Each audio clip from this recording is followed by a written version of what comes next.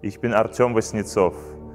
Ich spiele Fafner in der Produktion Rheingold. Und ich bin der Matthias Wohlbrecht. Ich spiele den Loge, auch im Rheingold. Ich habe eine Frage für dich.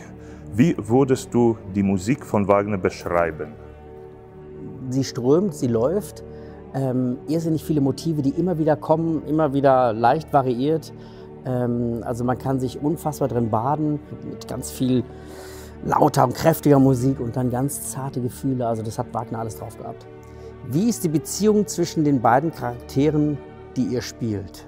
Ich glaube, mein Charakter sieht äh, was Schlaues, etwas, das kann man nicht einfach so, weißt du, catchen. Er versucht dich einfach zu zwingen, alles, was du kannst, mir ehrlich zu geben.